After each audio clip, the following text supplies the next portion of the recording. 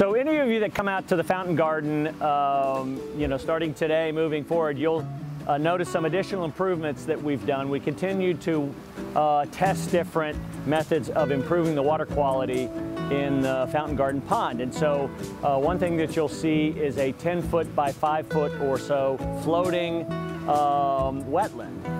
And what that basically is, is it's um, uh, made of a porous structure that has got fabric on the bottom that holds soil, but the roots from the planting can grow down into the water, absorb nutrients, and then when they mature, we'll harvest them, take them to the compost pile, and replant it. And so that's one way that we're testing, continuing to improve the water quality.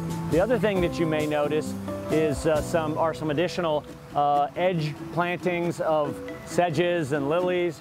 And then we also planted in a few places uh, some water lilies out in the pond um, to again help with absorbing uh, nutrients. And then the last thing that you may notice, uh, in the last 30 days we put in two additional aerators um, on either side of the fountain. The fountain of course was there when we opened in January, uh, but we just put in a couple of additional aerators to help oxygenate the water and then help uh, settle out the sediment down in the bottom.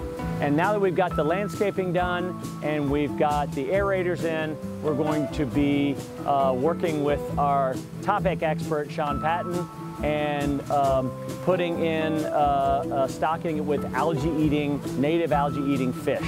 So we've gotten several questions related to uh, aspects of the uh, what folks are seeing when they walk on the uh, recently uh, open western half of the Mangrove Walk. One of those is related to the concrete structure with the wood fence that we just put up. That is a remnant um, of the old Selby Library and then later G.WIZ. Uh, what we're ultimately going to be doing as a part of our phase, phase one is honoring that history of the Selby Library and of the site with uh, an interpretation of an outdoor reading room. All of that will come next year as a part of our phase one work. So in the short term, what you'll see is that we temporarily landscaped it with muhly grass and have put up a wood railing uh, because it's a six or seven foot drop off the back and we don't want folks falling off the backside of it. And then we'll be putting up a sign that uh, speaks to coming soon, the improvements at the reading room. So uh, anyway, any other questions that you have, feel free to reach out to us at askthebay.org.